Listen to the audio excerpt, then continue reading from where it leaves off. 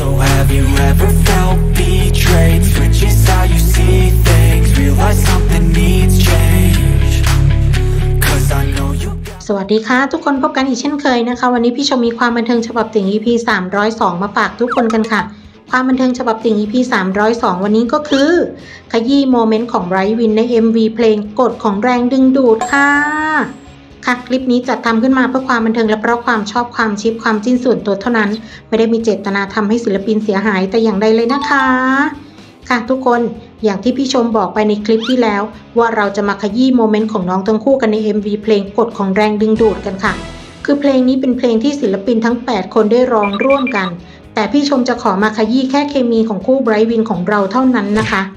ค่ะ แต่ละช็อตแต่ละ scene ใน MV เพลงนี้ เคมีของไบรท์วินคือพลังงานทำลายล้างหัวใจ shipper แบบสูงมาก คือคู่นี้เขาไม่ได้ถูกเนื้อต้องตัวกันเลยนะคะ ขนาดแค่พวกเขายืนร้องเพลงกันอยู่คนละที่แท้ๆ แต่เคมีก็คือดีเลิศจริงๆ คือมันเหมือนมีพลังงานแห่งรักกระจายไปทั่วๆ ใน MV เหมือนจะสื่อว่าคนสองคนกำลังเดินไปบนเส้นทางของตัวเองบนโลกกว้างใบนี้ ก่อนที่พวกเขาจะโคจรมาพบกัน แล้วช็อตที่พวกเขาแรปคู่กันคือกล้าวใจอีแม่เหลือเกินค่ะคุณขา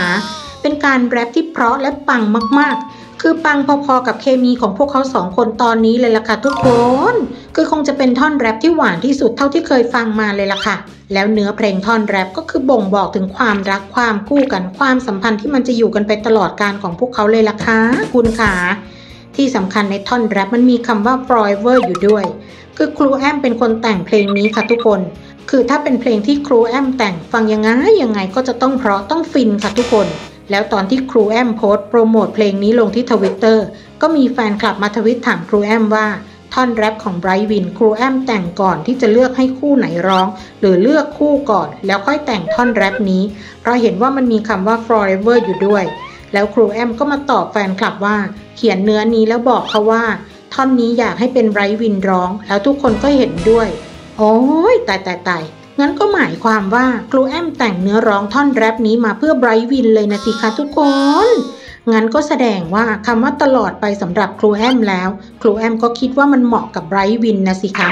ตายตายตายรู้ความหมายแบบนี้แล้ว อีฉันคือจะขิดแล้วละจ้าแม่จ๋าใครก็ได้ช่วยพยุงอีฉันทีค่ะ ค่ะ แล้วอย่างช็อตที่พวกเขาเดินไปเจอกันตรงบันได คืออีกคนเดินลงมาส่วนอีกคนก็เดินขึ้นไป แล้วมาสบตากันตรงกลางบันไดพอดี คือจังหวะนี้มัน feel ตกหลุมรักเมื่อแรกเจอ มัน feel ของรักแรกพบชัดๆ คือพอสบตากันแล้วยิ้มให้กัน มันก็แสดงออกถึงความใจตรงกันของพวกเขาเหมือนเขารู้ได้ทันทีเลยว่า คนคนนี้แหละที่เราเฝ้าตามหามาเนิ่นนาน อะไรประมาณนั้นนะคะทุกคน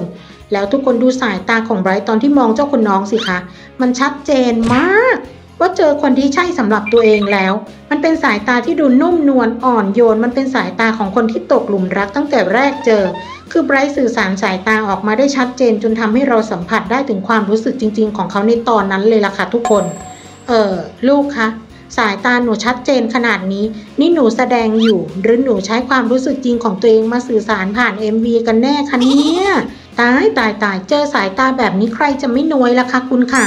คือถ้าเจอกันครั้งแรกแล้วมามองด้วยสายตาแบบนี้ อีฉันว่าอีฉันคงจะเก็บไปเพ้อไปฝันแน่ๆเลยล่ะค่ะ ว่าไหมคะทุกคน ค่ะ แล้วพอสบสายตาและยิ้มให้กันเสร็จ เขาก็เดินเคียงข้างกันไปเหมือนกับที่พวกเขาเดินเคียงข้างกันมาจนถึงทุกวันนี้เลยล่ะค่ะทุกคน คือเดินไปด้วยกันและคอยหันมองกันและกัน แล้วก็ยิ้มให้กำลังใจกันเรื่อยๆ มันโคตรเหมือนความสัมพันธ์ของพวกเขาในตอนนี้เลยจริง ๆ แล้วช็อตที่พวกเขาใส่ชุดขาวกันมัน feel เคมีความแฟนของลูกรักพระเจ้าชัดๆค่ะคุณขาจังหวะ pan กล้องแบบ slow คือเหมือนเทพบุตรสององค์ล่องลอยอยู่บนสรวงสวรรค์เลยล่ะค่ะทุกคน ตายตายตายเคมีอะไรมันจะดีขนาดนี้คะคุณขา แค่เขายืนข้างกันมันก็ทำให้พวกเราเขินโดยไม่มีเหตุผลได้เลยจริง ๆสำหรับคู่นี้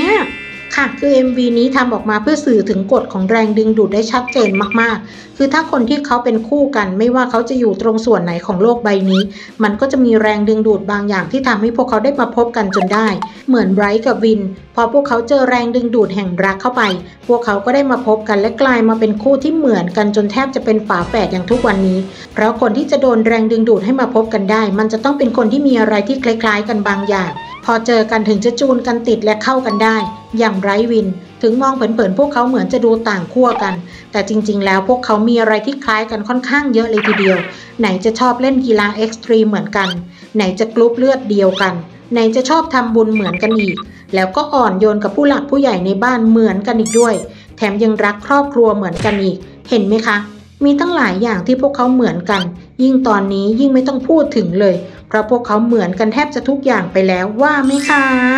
ค่ะถ้าคนที่เกิดมาเพื่อคู่กันกับเราแล้ว เราไม่ต้องไปวิ่งหาเขาให้ยุ่งยากหรอกค่ะทุกคน เมื่อถึงเวลาพระเจ้าก็จะเหวี่ยงเขาให้มาเจอเราเอง ในตอนนั้นเราจะเข้าใจได้ทันที ว่าทำไมคนคนนั้นถึงได้มาเจอกับเรา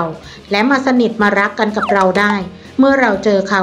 เราจะรู้คำตอบของคำว่ากฎของแรงดึงดูดเองค่ะทุกคน เพราะคำคำนี้มันไม่ใช่ใช้ได้เฉพาะกับคนรักเท่านั้น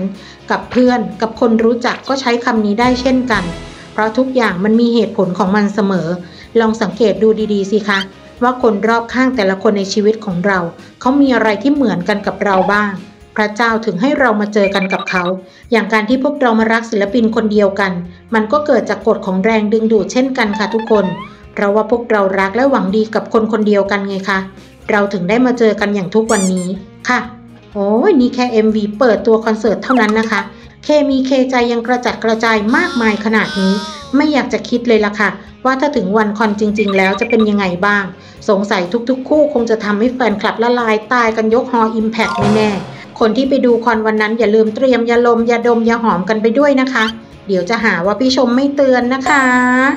ค่ะ เป็นไงกันบ้างคะฟินแลนด์ในแดนไบรท์วินกับกฎของแรงดึงดูดของพวกเขากันไหมคะทุกคน คือตั้งแต่ MV ตัวนี้ปล่อยออกมา พี่ชมยังหุบยิ้มไม่ได้เลยล่ะค่ะ คือมันทั้งจิ้นทั้งฟินอย่างบอกไม่ถูกเลยจริง ๆ ค่ะ งั้นวันนี้พี่ชมก็ขอนำความฟินของน้องทั้งคู่มาฝากทุกคนกันเพียงเท่านี้ก่อนนะคะ เอาไว้มีอะไรฟินๆเพิ่มเติมอีกพี่ชมจะแวะมาเล่าให้ทุกคนได้ฟังกันใหม่ใน EP ต่อไปค่ะ งั้นวันนี้พี่ชมต้องขอตัวก่อนนะคะ เจอกันใหม่ในคลิปหน้าค่ะทุกคน สำหรับคลิปนี้ สวัสดีค่ะ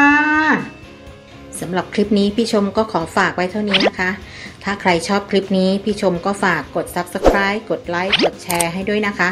แล้วก็อย่าลืมกดกระดิ่งแจ้งเตือนนะคะ เพื่อจะได้ไม่พลาดการอัปเดตคลิปใหม่ๆ ค่ะ ไว้พบกันใหม่คลิปหน้านะคะ สวัสดีค่ะ